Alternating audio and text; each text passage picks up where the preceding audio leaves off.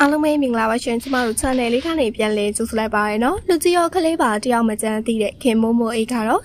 စကားပေါင်းများစွာမှာဘီလီနီယာကနေပြည်ပြင်းစွာတယောက်ဆောင်နိုင်ခဲ့တဲ့အတွက်ကြောင့်မို့ပြည်သက်ရဲ့အစ်စ်တွေရောအမုန်းတွေပါတပြိုင်နက်တည်းရရှိလာတဲ့သူတယောက်လည်းဖြစ်ပါရနော်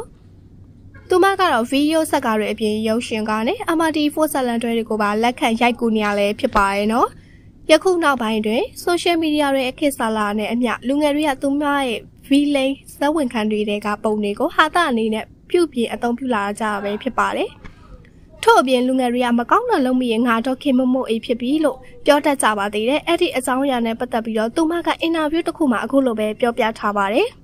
။ Facebook comment တွေကြည့်လိုက်ရင်တိတိပုံနဲ့နာမည်တွေကြီးပဲတွေ့ရတယ်။တိတိပုံကိုအမျိုးမျိုးသောစာတွေနဲ့လုပ်ပြီးတင်ကြတယ်။အရင်ကတော့တိတိလည်းစိတ်နှောက်ယှက်ဖြစ်ခဲ့ရတာပေါ့။အခုတော့လေသူတို့ကြိုက်တာစိတ်ချမ်းသာသလိုလုပ်ကြပါစေစိတ်ထွက်ပေါက်ဖြစ်ပါစေလို့ပဲသဘောထားလိုက်ပါတယ်တိတိပုံတွေကိုမသုံးပါနဲ့လို့တော့ မတားချင်ပါဘူးဒါပေမဲ့တော်ရုံပဲသုံးချပါလို့တော့ပြောပါရစေဆိုပြီးတော့သူမရဲ့ခန်းစားချက်တွေကိုပြောပြလာတာပဲဖြစ်ပါရှင်